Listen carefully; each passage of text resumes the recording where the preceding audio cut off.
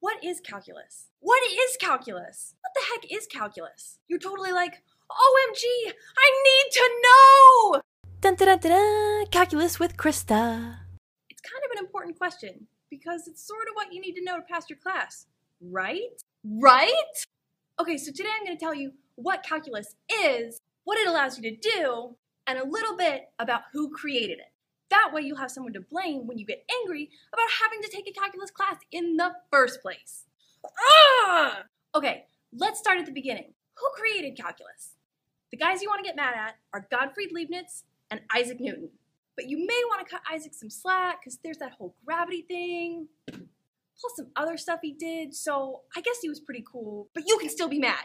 People argue about whether Leibniz was the first one to discover calculus or if Newton was first. They're like, it was Leibniz! And then the other people are like, no, it was Newton! And then they're like, Grr! and then it's like, ah! But basically, all you need to know is that they invented it at the same time. So, what did they discover? What is calculus? Well, in the same way that geometry is the study of shape and trigonometry is the study of triangles specifically, calculus is the mathematical study of change.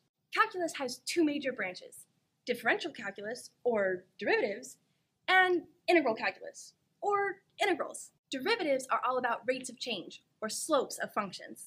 Integrals, on the other hand, allow you to find area. Derivatives and integrals are inverse concepts of each other, which are related to one another through the fundamental theorem of calculus, which is really going to make your head spin when you get to it. Get ready! So, why exactly do you care again? You care because you really need to know how fast this function is increasing and decreasing, and how to find the area under this one.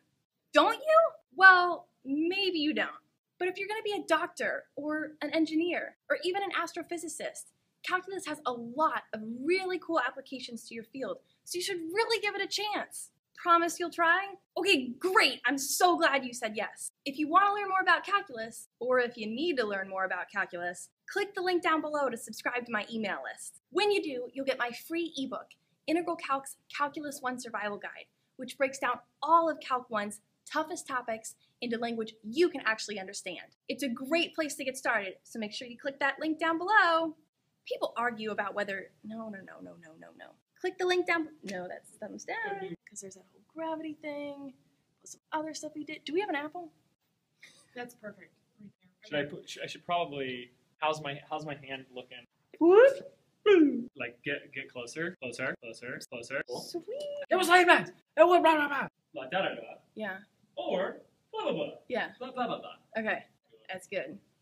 Yes. Perfect. She's fabulous.